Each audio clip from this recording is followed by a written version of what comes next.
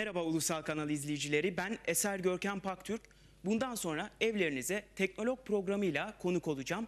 Bültenimizde size teknolojik yeni gelişmeleri aktaracağız. O zaman ilk bölümümüze başlayalım.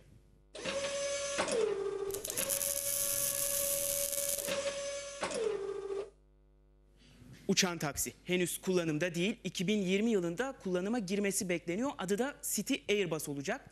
Üretici firma taksimetreyi açıkladı. Kilometre başına taksimetre 1 dolar atacak. Bakalım.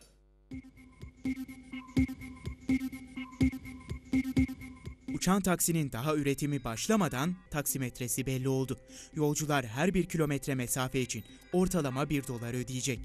Toplu taşıma alanında hizmet veren Airbus şirketi ilginç bir projenin de sahibi. Fransa merkezli şirket uçan bir taksi modeli üzerinde çalıştığını duyurmuştu. Taksinin kullanıma girdikten sonra uygulayacağı taksimetre de açıklandı. Uçan taksiye her mil için 1,5 ila 2,5 dolar ücret ödenecek. 1 milin 1,6 kilometre olduğunu düşünürsek, kilometre başına taksimetreye 1 dolar 25 sent eklenecek. Açılış ücreti ise henüz belli değil. Project Vahana olarak da adlandırılan proje kapsamında geliştirilen modelin 2020'de kullanıma girmesi hedefleniyor. Peki uçan taksi müşterilerine nasıl hizmet verecek? Şirketten yapılan açıklamaya göre modelin adı City Airbus. City Airbus'ı müşteriler akıllı telefonlarıyla çağırabilecek. İlk etapta City Airbus'ı pilotlar uçuracak. Ancak şirket gerekli izinleri alabilirse bu araç sürücüsüz hale de getirilebilir. Önümüzdeki yıl Singapur Üniversitesi'nin kampüsünde prototip testlerine başlayacak olan projenin maliyeti hakkında da resmi bir açıklama bulunmuyor. Uzayda turistik gezi düşünün. Yer çekimi yok, e, yürüme derdi de yok. NASA bunu düşündü ve 2019 yılında Soyuz kapsülüyle iki tane turisti uzaya götürecek. Dünyanın çekiciliği bir yana uzayın derinliği artık insanlığı daha çok cezbediyor. NASA bunu düşünmüş olacak ki uzay turizmi için ilk adımı attı. NASA astronotlarını uluslararası uzay istasyonlarına taşıyan uzay aracı Soyuz da artık turizm sektöründe. Enerji ve Füze Uzay Kuruluşu'nun genel tasarımcısı Yevgeny Mikrin, 2019 yılından itibaren Soyuz gemisinin bir uçuşta uluslararası uzay istasyonuna iki turist götürme konusunun değerlendirildiğini bildirdi. Mikrin konuyla ilgili yaptığı açıklamada şu anda Enerji Füze ve Uzay Kuruluşu'nda Soyuz gemisinde birçok şey yapılıyor. 2019 yılından itibaren bir uçuşta iki yolcuyu uzaya taşıma imkanını sağlamak ve otomatik uçuş zamanını kısaltmak için çalışıyoruz dedi. Mikrin bilet fiyatının ise ucunu açık bıraktı. Bu tür müşterilerin sayısı daha azdır fakat biletin fiyatı çok daha yüksek olacak ifadesini kullandı.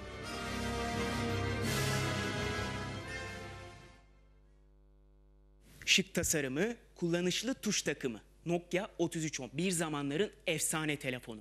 Tabi teknoloji geliştikçe, yeni cihazlar çıktıkça Nokia 3310 biraz kaba gelmeye başlamıştı bize ama gönlümüzdeki yerini her zaman korumuştu. Yeni Nokia 3310 İngiltere'deki raflarda yerini aldı.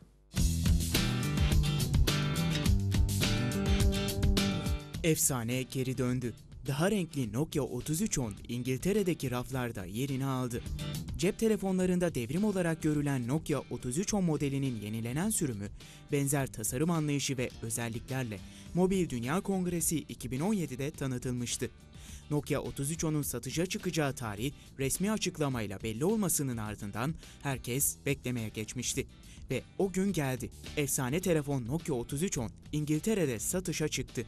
Cihazın satış fiyatı ise 49.99 sterlin. 3310'un önümüzdeki ay Avrupa pazarında da satışa sunulacağını söylemek mümkün. Türkiye fiyatına dair resmi bir bilgi ise bulunmuyor. Peki Nokia 3310'un özellikleri neler? İşte yeni Nokia 3310 hakkında bilmeniz gereken her şey. Orijinal Nokia 3310 modeline göre daha küçük, hafif ve ince olan yeni model, sarı, yeşil ve lacivert gibi renk seçeneklerine sahip. Yine fiziksel tuş takımı ve navigasyon butonlarıyla gelen ürünün tuş yerleştirmeleri biraz farklı olsa da orijinal tasarıma uyum sağlayan türden.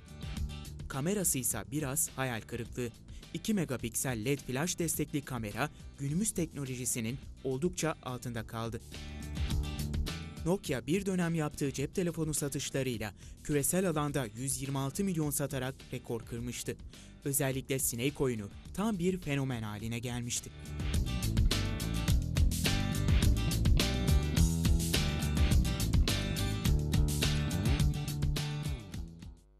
En hızlı internete sahip ülkeler hangileri? En yavaş internet nerede kullanılıyor?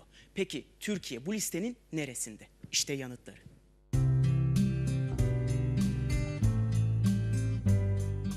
İnternet kullanıcıları için adil kullanım kotasında yeni dönem artık hayata geçti. Yeni düzenlemeyle saat gece 2 sabah 8 arası kullanım kota dışı sayılacak. Aynı zamanda internet hızında da düzenlemeye gidildi.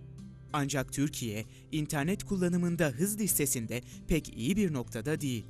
Peki dünyada kullanıcılarına en hızlı interneti sunan ülkeler hangileri? Bu sorunun cevabını bulmadan önce en yavaşlarına göz atalım. Listeye bakıldığında Venezuela ve Paraguay 1,5 megabit hızla en son sırayı alan iki ülke oldu. Türkiye'nin yeri ise ortalarda. 6.2 megabit ortalama hıza sahip Türkiye, Birleşik Arap Emirlikleri, Tayland, Tayvan, Macaristan ve Singapur'un gerisinde kalmış durumda. Gelelim en hızlı interneti kullanan ülkelere. Norveç 16.4, İsveç 17.4, Güney Kore 20.5 megabitle ilk 3 sırada yer alıyor.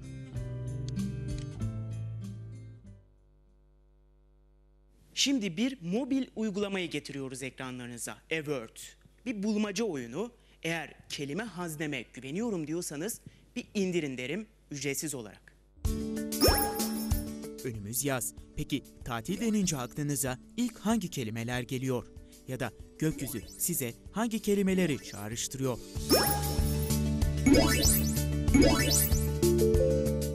Mobil oyunlar telefonlarımızın vazgeçilmezleri. Evert ise vakit öldürürken kelime dağarcığınızı ölçebileceğiniz bir oyun.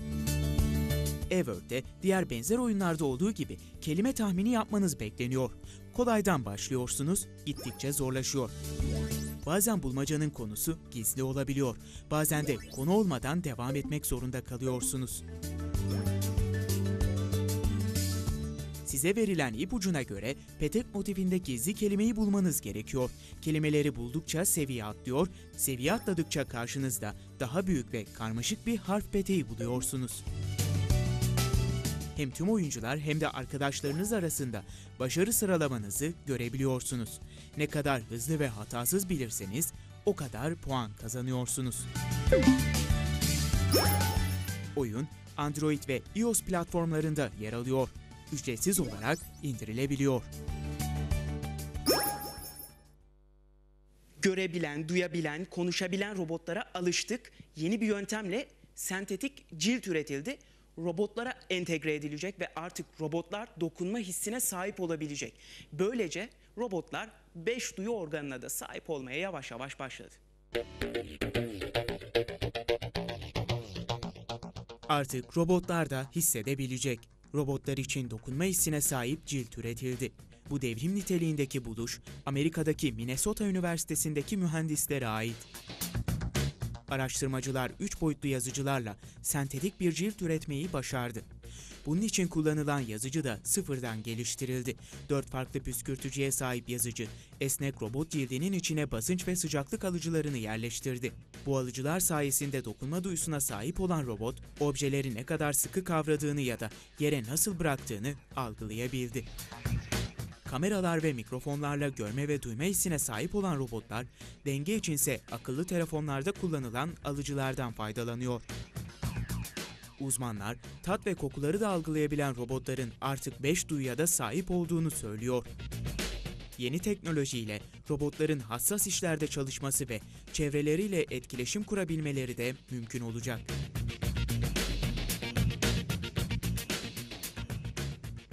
Kendi kendine hareket eden, kendini güncelleyen robotlar artık günümüzün teknolojisiyle kendini göstermeye başladı. Ancak bu makineler kontrol altında olduğu sürece önemli, dikkat edilmesi gereken bir durum. Şimdi Rusya'da Dünya Kupası organizasyonu yapılacak. 2018 Dünya Kupası. Bu Dünya Kupası'nda taraftarların güvenliğini robotlar kontrol edecek. Bir olay olduğu zaman hemen telsizle e, polislere aktaracaklar durumu ve robotlar da Dünya Kupası'nda taraftarların taşkınlık yapmasını böyle önleyecek.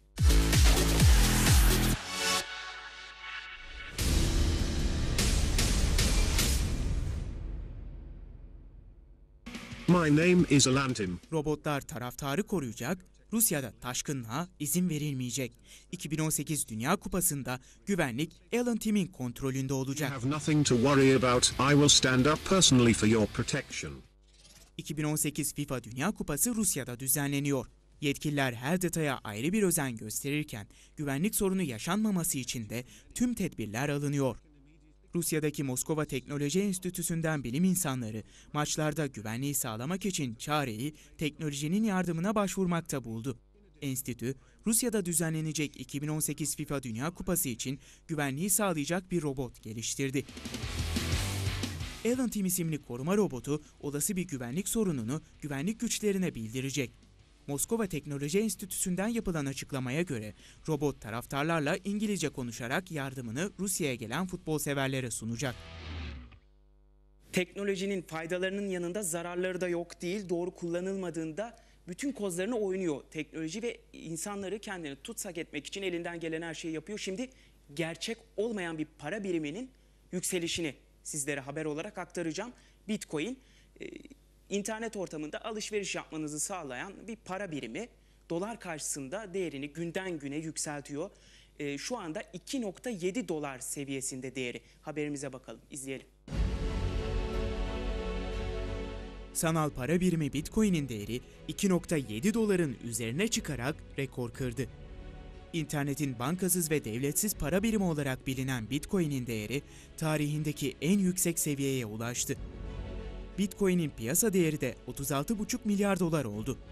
Bir günde %9'un üzerinde yükselen Bitcoin, bu yılın başından itibarense %124 artış kaydetti.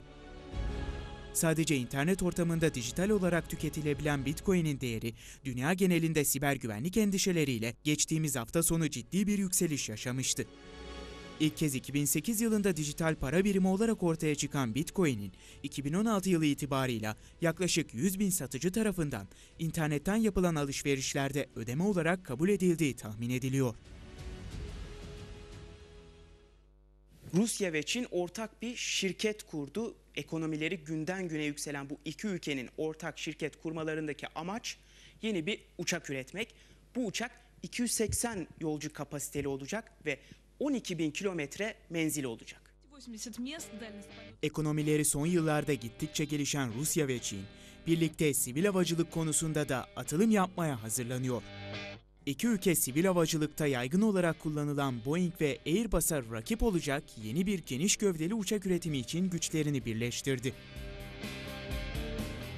Şangay'da imzalanan anlaşmayla kurulan bu şirket, 280 koltuk kapasiteli ve 12 bin kilometre menzile sahip geniş gövdeli uçak üretecek.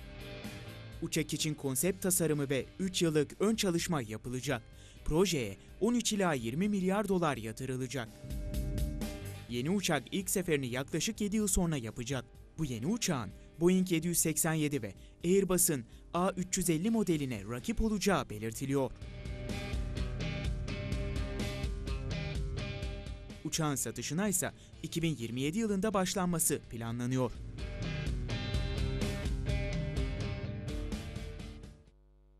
Şimdi yurdumuza dönüyoruz. Yeni nesil bilim ve teknolojiye oldukça meraklı. Sizin için derlediğim yurttan teknolojik gelişmeler, yeni mucitlerin haberlerini ekranlarınıza getiriyoruz.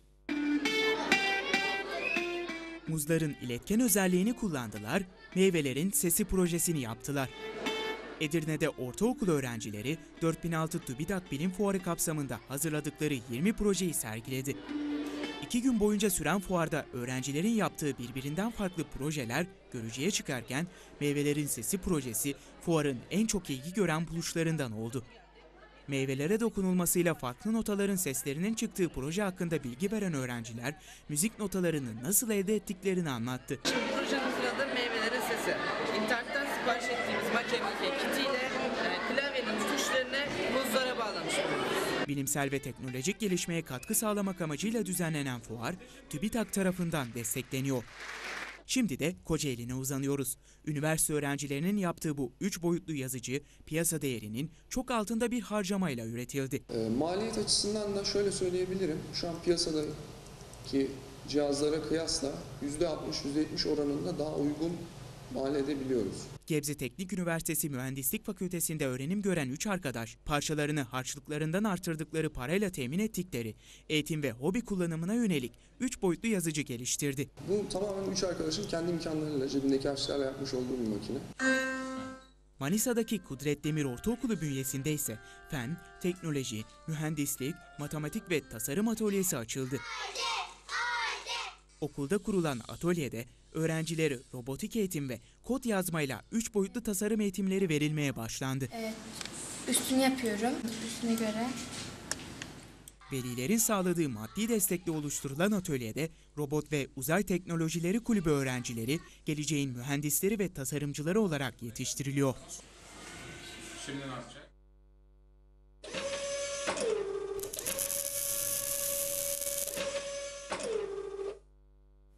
Dünyada ve Türkiye'de teknolojik gelişmeler böyleydi. Önümüzdeki bölümde görüşmek üzere. Siz teknolojiyi kontrol edin. O sizi değil. Hoşçakalın.